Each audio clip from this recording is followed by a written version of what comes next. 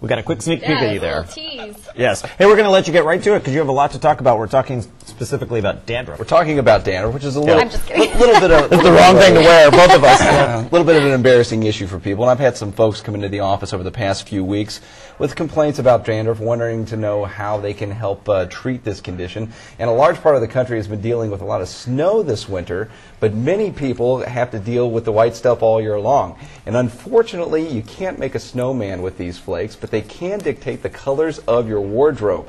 Dandruff can be an embarrassing problem for many people, but fortunately, it's not contagious, rarely dangerous, and with a little effort, easily controlled.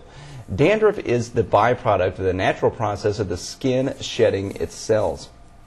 These dead cells can clump together, sticking to the hairs themselves, or landing conspicuously on their shoulders. Recent research has suggested that scalp fungus may even play a role in dandruff by causing a low grade inflammation that accelerates the shedding process and therefore leading to more flakes. Unfortunately, there are some illnesses that may mimic dandruff but are more serious in nature. Psoriasis is an inflammatory disorder that can affect many different parts of the skin, including the scalp, and it requires more intensive treatment to keep its symptoms away. Ringworm of the scalp is essentially a deeper fungal infection of the skin and can cause patches of balding. It usually needs an oral antifungal medication in order to effectively treat and prevent its recurrence.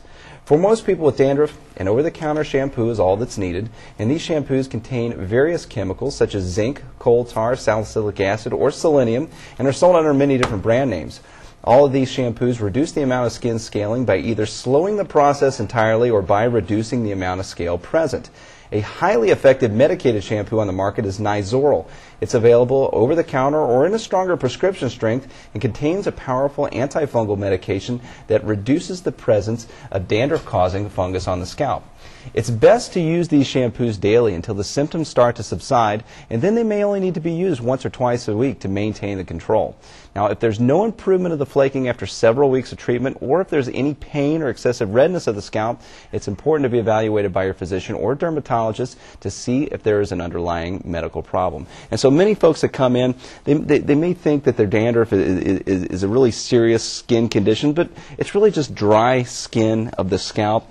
With some of the oils that you also have on the scalp, causes these dead skin cells to clump together, stick to the hairs, or fall off and stick to your jacket or your shirt or whatever. And so it has nothing to do with the scalp being dirty or there any other kind of hygiene issue, which is one of the problems that I see a lot of patients patients take is that they feel like that there's a there, there's a dirt problem on their scalp, and so they start washing their hair more frequently, which can dry out the skin, which may even exacerbate or make the problem a lot worse.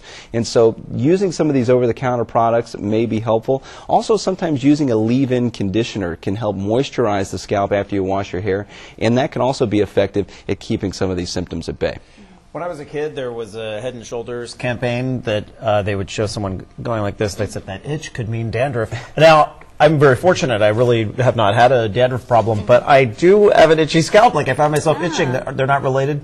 Not necessarily. No, just you that know, ad campaign Yeah, made yeah all dandruff think. is basically just the shedding of those dead skin. You know, it, it's normal to have a little itch, you know, here and there. So, Yeah. um, so you know, if you if you feel like you need to scratch it, don't don't. If you see Randall Right, scratching going like his head, please, please don't judge him. Especially on the weekend when I wear ball caps the whole time. Then I'm like constantly scratching. Hey, you got an uh, email from a viewer. Yes, we also have an email. This is from a concerned mother in Arroyo Grande. She writes in about her 16 year old son whose sweat smells like ammonia. In fact, his shoes, room, bedding, baseball uniform all smell like ammonia. Is this normal. And so ammonia is a byproduct of nitrogen metabolism, and one of the ways that we get rid of nitrogen in our bodies either through our urine or through our sweat. And so depending upon what the child's activity may be, they may be producing excessive nitrogen, and this could be in a situation where someone may be exercising or working out quite frequently.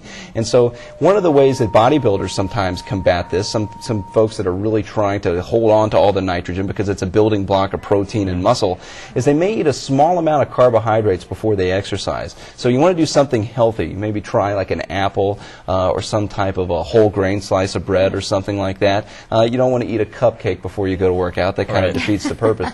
But having these additional carbohydrates on board may help with that nitrogen metabolism and help your body hold on to some of those nitrogen molecules as opposed to excreting them through the urine or sweat. Some people are just genetically their sweat may smell a little bit different, and it's not an underlying sign of any other kind of serious illness or anything like that. And so maybe just changing up the diet a little bit before an exercise may help change well what the what the sweat smells like. Dandruff and sweat, this morning's two uh, topics. Yes, thank you, Dr. Scott, So for what good information. I have to tell you also thank you because before with Patty's segment, I was so hungry. No longer the case. Right. Thank you That's good. so much. Hey, there are taboo topics that uh, need to be discussed. So you, Absolutely, you know, yes. there's that's why we've got the doctor here. Uh, morning rounds at kcoy.com. That's how you get your question to Dr. Scott, so he can answer it as he just did right here on our air. And thank you, Dr. Scott. As always, uh, we'll be taking a check of weather one last time. Sara, right?